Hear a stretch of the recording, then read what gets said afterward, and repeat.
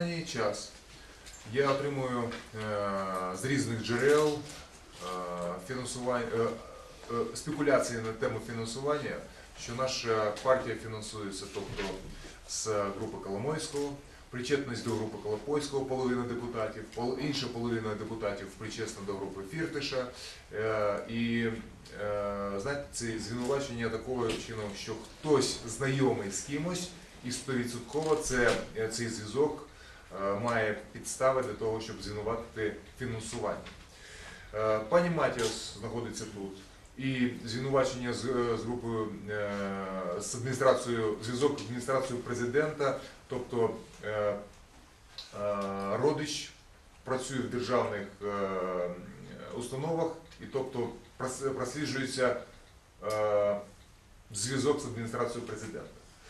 Е, таким же чином Льовочкін грає футбол е, на одному полі, яке належить е, представнику е, нашої партії. Тобто цей представник, якщо Льовочкін там грає футбол, 100% зв'язан з ним.